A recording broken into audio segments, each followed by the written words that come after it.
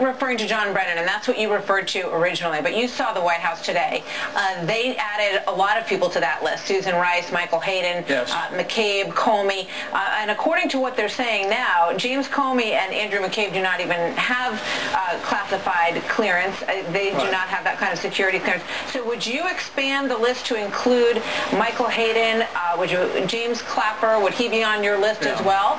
Yeah, I would, I would uh, not probably even name names. I would probably have it as a universal policy that when you leave, the only time I can think of a reason why you would want to keep this would be in a transition when you're still briefing people and you're sitting down with the next mm-hmm. uh, administration. I would probably just go one step beyond and not let any uh, retired officials go on television that still have classified uh, uh, classified uh, security clearance. So how serious is the president about pursuing this? Because they said, you know, they want to look into the avenues that exist to pull these clearances. What was your impression when you were in there with him about how what, what the time frame is for making this happen and how determined he is to do it?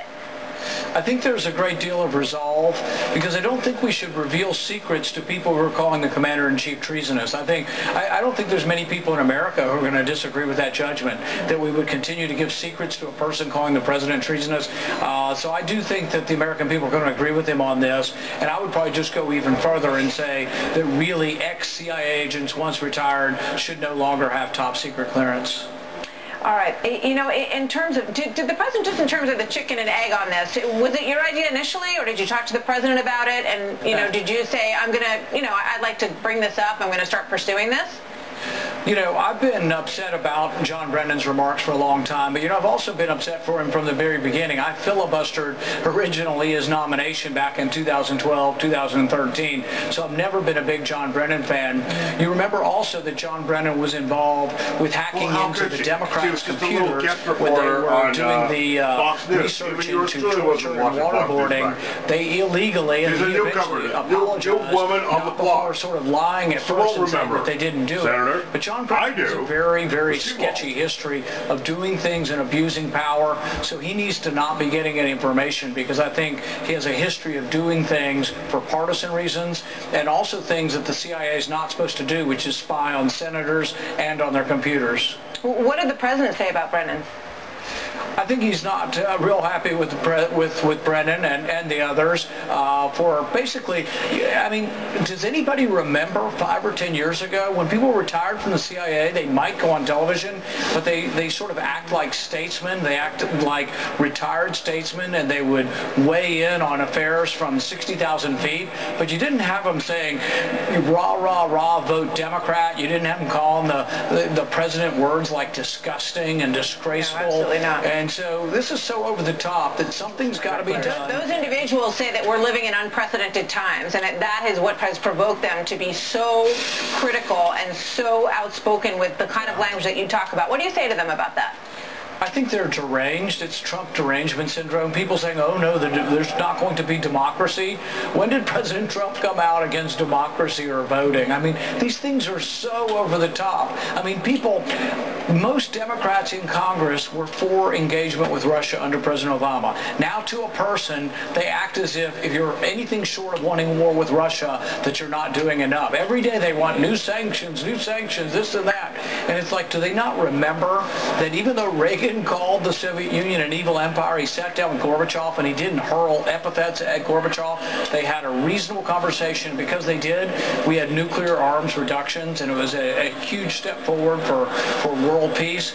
Uh, that can happen again, but not if we're deranged by politics. They tend to keep them in a way that run-of-the-mill employees like me don't. And they also have, as a courtesy, they'd say, the ability to go back in and still have uh, real-time access to classified information if, in fact, they were called in for that. That's the justification for this. But I feel like this whole debate just highlights a much bigger problem, a much more nefarious issue, and that is we have all these people lecturing us about institutions being undermined and look what's happened to us and the hacking of our democracy and this this can't be allowed to happen.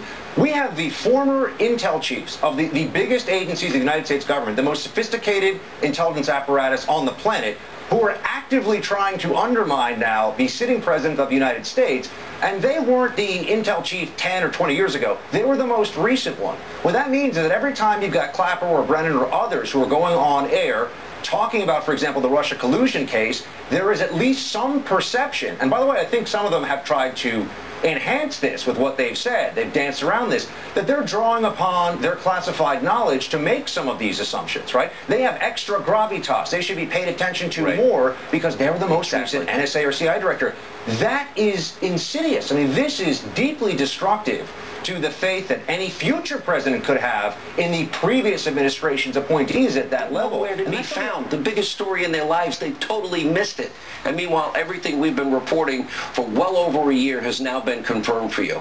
Instead, you've got the media carrying water for their beloved Barack Obama. In other words, finishing the job. They did eight consecutive years of kissing his ass. Why should they stop now? And as we speak, they are in full-on freakout mode that several former high-ranking deep state government bureaucrats, all who propagated these Russian lies, found in Hillary's bought and paid for dossier, might actually lose their precious security clearances. So this week, rightly, the Trump administration announced it was literally looking to strip top secret government access from all those deep state actors you see on your screen, including Clapper and Brennan and Rice, Michael Hayden, and yeah, James Comey and Andrew McCabe. And now, predictably, yeah, Democrats two former media, they're once again very peddling very, this very from President Trump as another, oh my gosh, earth-shattering, vain outrage moment, an unprecedented abuse of power. In other words, Director their typical the daily Donald Trump freak out. Yeah. We've got the video proof. Take a look. The president wants to silence his critics, period. And uh, maybe he thinks this is a way to do it. Maybe he can say, well, they don't know what they're talking about if they don't have uh, clearance anymore. The idea that the president would be revoking security clearance, not based on wrongdoing, just based on words, is shameful. Well, but I'm not comfortable with vindictiveness mm-hmm. because to me, that's very dictator. Well, that's his middle name. He represents the office of the presidency of the United States. Uh, this threat sounds more like he leads Turkey or the Philippines, uh, not like he leads the United States of America. Let, let's be honest what this is about, Willie. This is an abuse of executive power. This is this is Erdogan's Turkey. This is not what the United States of America should be. This is so extraordinary. The last thing you want in intelligence is partisanship. Make no mistake, that's the only thing this is about is a cowardly action oh of someone who is afraid of criticism. By the way, the last guy's the biggest liar in the country. Yeah, he makes a girl forward these like people a security clearance? Then why not the homeless guy talking to himself on the bus? That seemed like a fair question.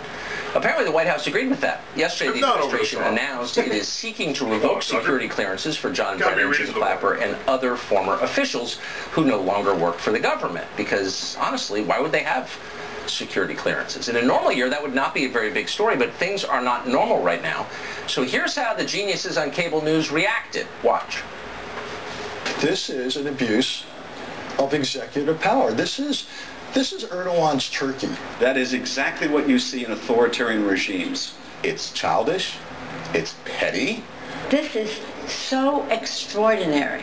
The last thing you want in intelligence is partisanship. That he would turn against them in a way that obviously disrespects uh, uh, civil liberties, disrespects free press, uh, is an autocratic kind of move. It's the kind of thing you'd see in a banana republic. Autocratic. First they came for John Brennan's security clearance, and I said nothing.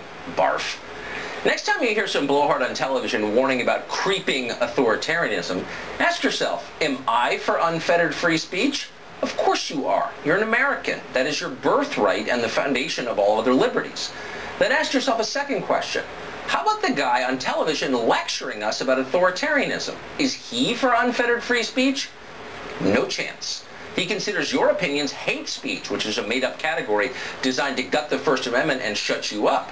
He'd happily support big tech firms and college administrators and your company's HR department as they punish you for saying what you think is atrocious. Now, per usual, this tweet set off, yes, predictable, widespread, breathless panic from your left-wing media. Shocking. Take a look. Oh, He criticized several times Barack Obama and said, you just wait. He's going to start a war with Iran if it feels like he's on the political ropes. And so that's in his head. With any previous president, if you'd woken up to this all-caps tweet threatening war with Iran, you'd think he probably belongs in a padded cell. But with Trump, this is kind of business as normal. Russia just dominated the conversation for the whole week, and he was hurting. So let's distract with a new topic. And in this case, it's Iran. Let's find a new foil that maybe all of us will focus on, and we'll forget that there was a summit in Helsinki last week. But this strengthens them for Rouhani, for uh, the foreign minister. This makes them look tough. People are rallying around them. So this is actually strengthening the regime. I mean, it is a classic move by President Trump to try to distract. And we've seen this time and time again. When things aren't going well, you you you lob a Molotov cocktail in one corner of the room, and everyone runs over there. And now remember, these are the same people claiming that Trump was going to cause World War III because of his tough rhetoric.